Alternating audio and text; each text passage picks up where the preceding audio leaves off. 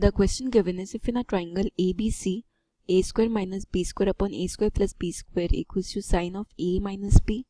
upon sine of a plus b then prove that it is either a right angle triangle or an isosceles triangle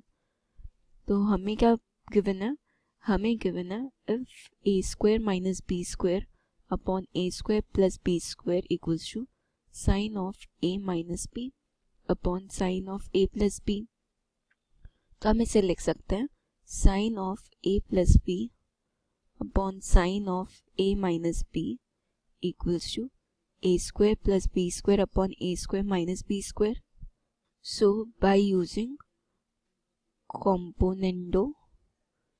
and dividendo हमें क्या मिल जाएगा? Sine of a plus b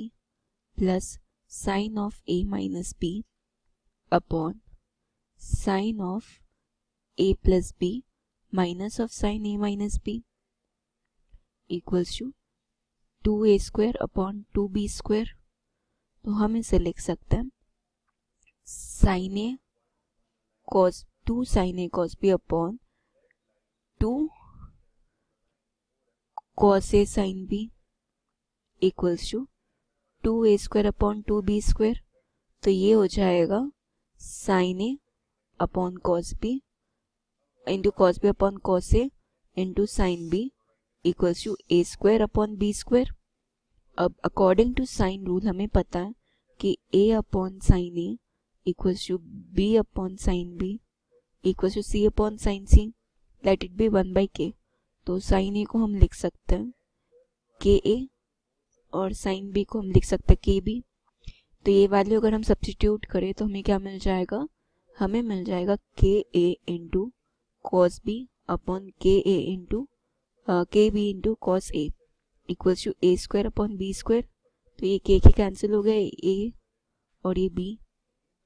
और cos B को हम लिख सकते हैं a square plus c square minus b square upon two a c upon b square plus c square minus a square upon two b c तो ये सी और to cancel out हो गया। हमें मिल गया ए अपॉन बी